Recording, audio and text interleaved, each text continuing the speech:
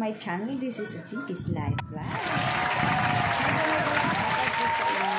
At ayun, for today's video mga ka-life, ay papakita ko po sa inyo ang ah, pagtayo ko ng ah, mag-isa. Ayan, ang pagtayo at pag-upo ko mag-isa mga ka-life. Kung kaya ko ba na ba talagang ah, tumayo mag-isa at umupo mag-isa mga ka-life. Everyday may mga improvement. Ayun, tara, let's watch!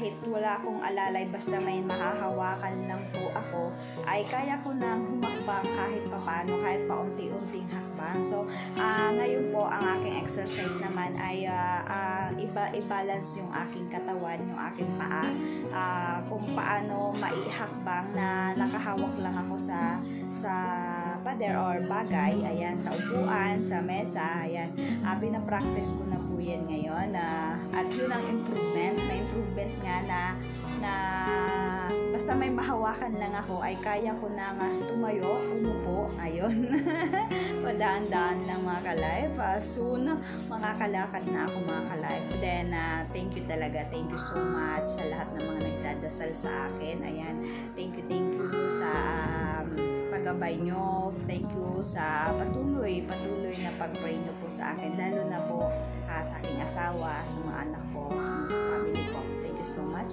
And then, thank you, thank you, thank you so much sa aking ah, ah, therapy na si Kim Palarca TV na siya po yung palagi nagsasabi sa akin kung anong dapat kong gawin, kung ah, ngayon dapat kong gawin to, kailangan magawa ko to. Ayun. Talagang pinupush. Ayan, pinupush po ako ni Team Palarca TV, ang mag-asawa nga ah, Mr. and Mrs. Palarca. Thank you, thank you so much po talaga. Napakabuti niyo po talaga, ma'am and sir. Thank you, salamat. Salamat, salamat talaga. At kung dahil, hindi dahil sa inyo, ah, siguro hindi ko po alam kung paano, kung paano yung technique. Kasi may technique talaga to eh, yung pag-therapy. Sinabi din to sa akin ng doktor, hindi hindi ko pwedeng i-therapy mag-isa ang sarili ko. Kailangan may may therapist talaga ako. Yun ang sabi ng doktor. Kailangan ko magpa-therapy para ah, ma magawa ko ng ano po, yung step by step, yung ah, ah, pag-exercise sa sarili ko, kung paano ko maigagalaw ng maayos yung kamay ko, kung paano ko maya i ah, aapak yung mga paa ko. Kasi hindi basta-basta daw.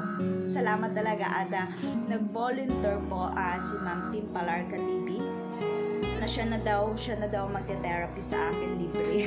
Kahit malayo po siya, ah, pilit niyang nire-reach ako um, through video call nga po. Sinasabi niya ako anong dapat kong gawin. Ah, ngayon, kailangan mo magawa to, kailangan mo maabot to, kailangan maigalaw mo to. Ganyan, ganun. Ay, kaya yun po, ah, talagang ang ginagawa ko po, ginagawa ko po yung ah, lahat ng sinasabi niya. Ayan po, dahil alam ko na para sa akin naman po yun. At ngayon nga po ay may improvement. Soon talaga makakalakad po ako. Maraming maraming pong salamat. Keep watching po. Ayan. And uh, kung bago ka pa lang po na naligaw ngayon sa aking channel, don't forget to subscribe my channel. And then, uh, click mo na rin yung notification bell para updated ka din sa lahat ng aking video na upload. Maraming maraming pong salamat. Bye! See you on my next video mga ka-live! Bye-bye!